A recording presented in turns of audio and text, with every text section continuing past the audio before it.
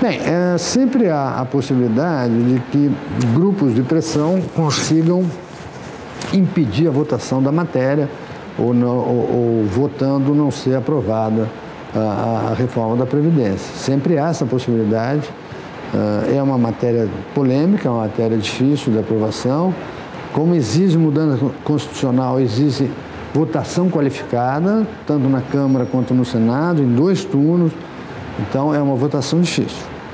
Se porventura, uh, enfim, a sociedade entender que não deve mudar, uh, uh, através dos parlamentares, enfim, os nossos representantes entenderem que não devem mudar, essa será uma escolha do país, uma escolha que vai nos levar para uma tragédia econômica e social. E por que eu digo isso? Porque a despesa previdenciária, que hoje é 12% do PIB, ela vai atingir alguma coisa entre 18% e 20% do PIB. Então, significa dizer que um quinto de tudo que for produzido no país vai para a Previdência. É inexorável que, com o aumento da idade média da população, os gastos com saúde também aumentem. Isso significa que, em poucos anos, nós teremos que ter uma carga tributária uh, de 50%, 55%.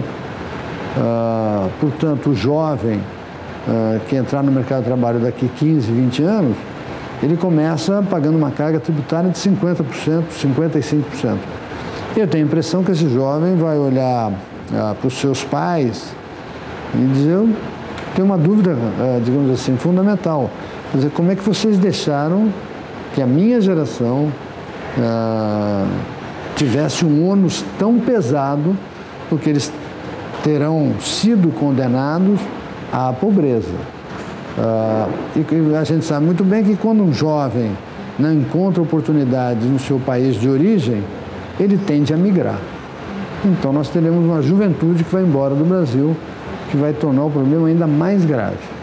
Porque os primeiros a migrar serão aqueles mais qualificados, que têm oportunidade de emprego em qualquer lugar do mundo. Então nós estaremos deixando para as futuras gerações um, um país eu chamaria de uma tragédia social e econômica, tornando o país virtualmente uh, inviável enquanto nação soberana, enquanto nação que quer afirmar os seus valores, enfim. Não há jeito.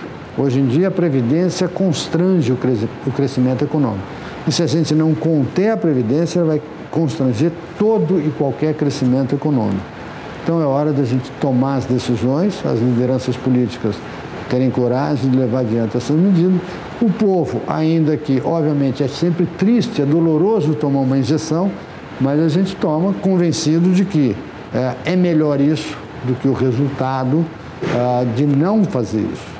Não tomar a penicilina, não tomar um antibiótico, significa eventualmente condenar à morte o paciente. Então, dói, fica doloroso, mas é absolutamente suportável, se torna o corpo, o organismo social mais saudável mais robusto para gerar riqueza e fazer o país crescer.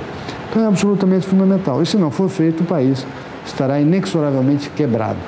É essa expressão quebrado, condenado a ficar velho, um país velho e pobre, que é o pior dos mundos.